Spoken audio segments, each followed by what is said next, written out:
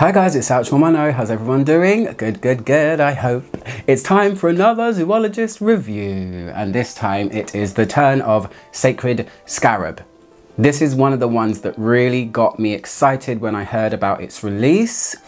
I thought it could be the one that, after quite a while of some more quieter, more serene type fragrances, I thought, oh, this might be the zoologist that's gonna make me say, woohoo! Is it? Kinda, yeah. So anyway, let's talk about it. It's been a while since I've done a zoologist review, wow. Anyway, this one is obviously themed on ancient Egypt. The nose behind this one is Sultan Pasha. He is a gentleman that I semi know, you can say that right. Um, I've met him a handful of times. We have run in a similar circle, just at different times.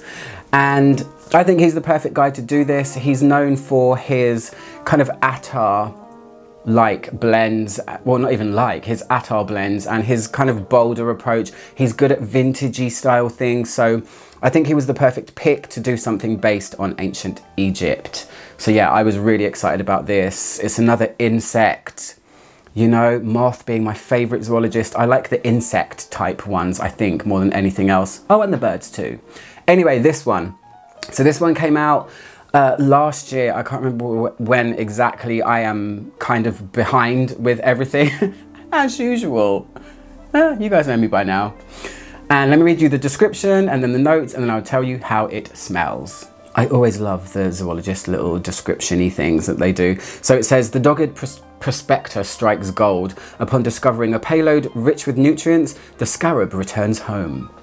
Face down, guided by the sun, it propels the tightly packed dung backwards to a burrow lined with dusky spheres. Underground, it tunnels into it tunnels into the ball to deposit a precious egg. In time, the larva hatches and feeds until it emerges fully formed and instinctive drives it instinct, sorry, drives it down the same dusty trail to repeat the cycle. That's the first part of the description. For a perfume, you would think, oh, okay, but essentially they are dung beetles. Let's not beat around the bush.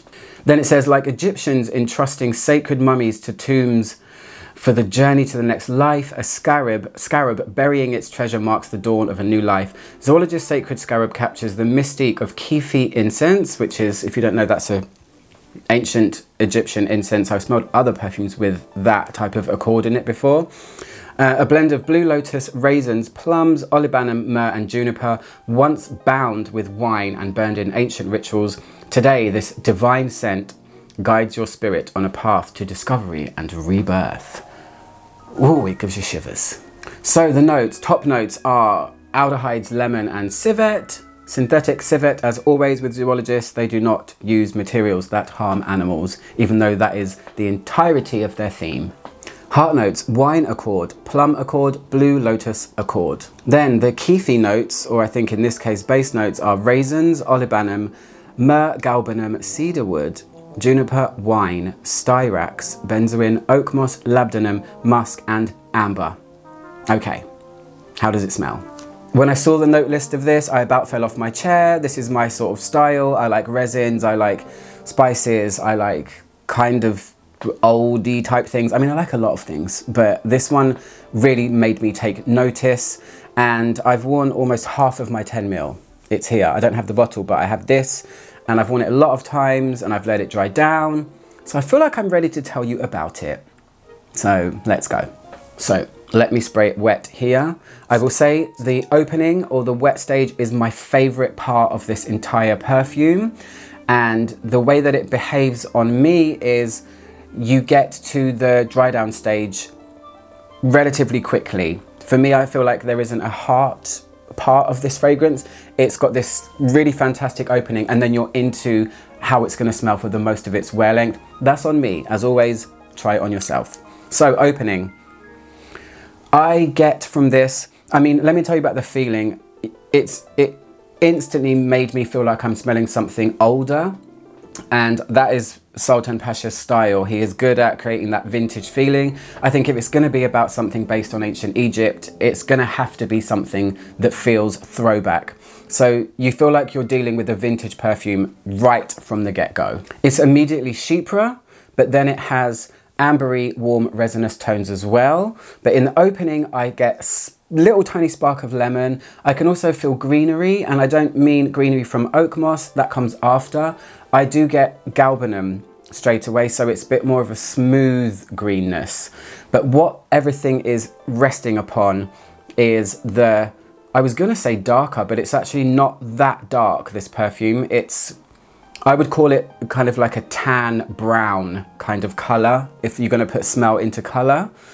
It's got a, a, a brown kind of feeling and it's, you can feel this chypre structure in there. You can feel the dryness, you can feel the vintage part of it, but you get this really nice little quick sparks of greenery and citrus at first, but already what's waiting is revealed immediately. That's what I mean when I say there's not really a heart stage for me.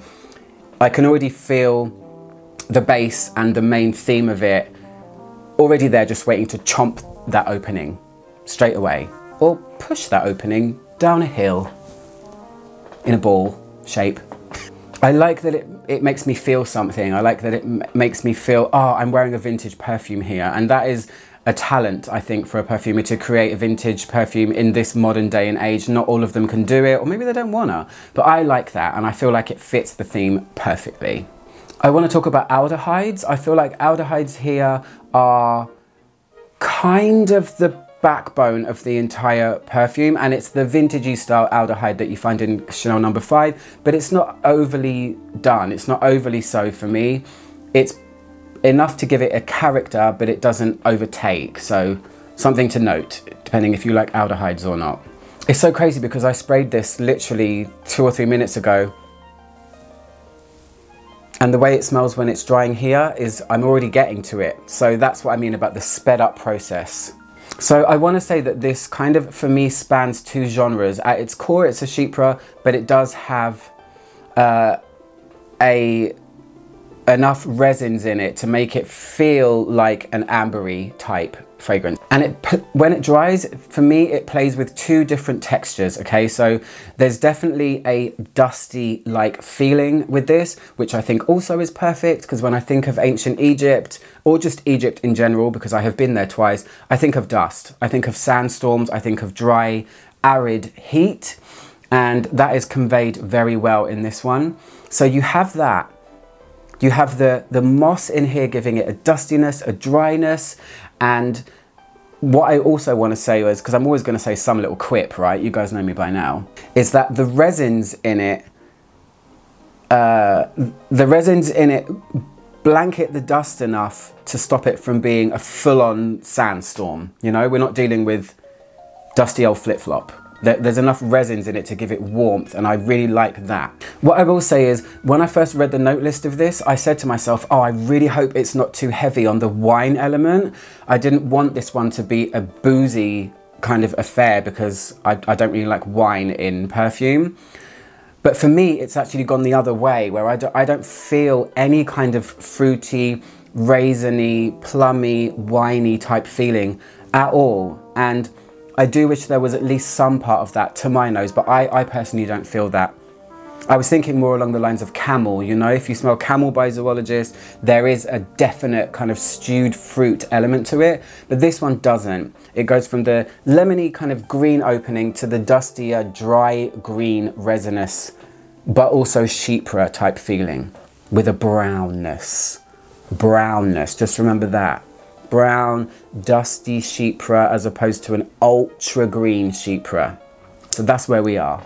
Let me talk about the animalic because we're talking about something that has civet in it. We're talking about something that is essentially a dung beetle. We're dealing with poops. So this is where I think Sultan has done a really great job because civet can be a note that can just scare people off in danger, running for the hills.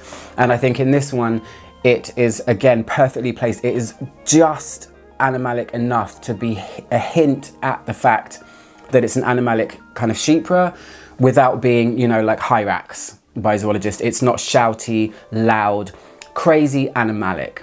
So that is my take on uh, Sacred Scarab by zoologist. I almost said Hyrax then. Already done that one. Go watch it if you like.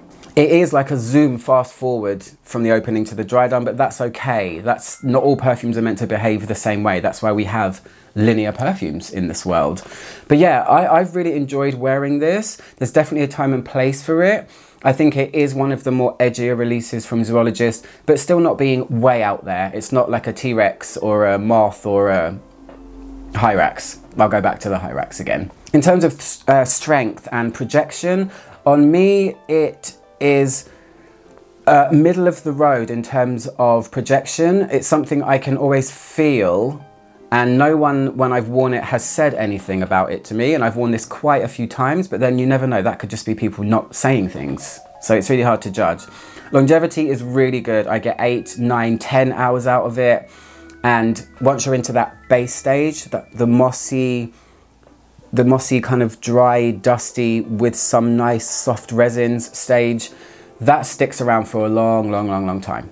And uh, I'm really glad. I think an ancient Egypt perfume is such a great theme and I think Sultan did a really good job on this one. So well done Sultan and Victor too. Anyway guys, I hope you like this video. I'm Ouch110, trying to make the world smell better one video at a time. I'll see you guys soon. Goodbye.